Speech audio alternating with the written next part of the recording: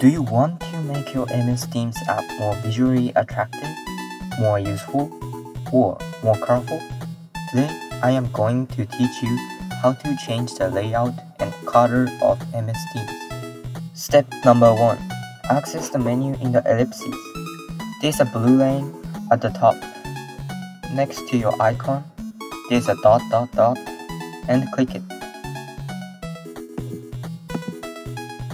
After you click, there will be setting at the top. Click setting. Then there is a general at the top. So go to general. And as you can see, this is theme, chat density, and layout. You can change the color by theme. If you change theme to dark, your theme color will be. A dark and high contrast look the same, but they aren't.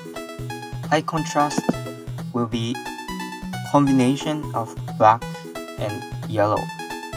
For chat density, you can literally change your density of chat. This is what comfy looks like. This is what compact looks like.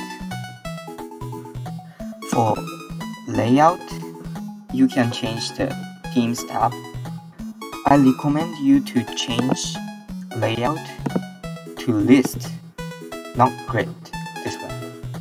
Uh, you can access class easily with list. Let's create a unique layout. Smash that like button and share this tutorial with a friend.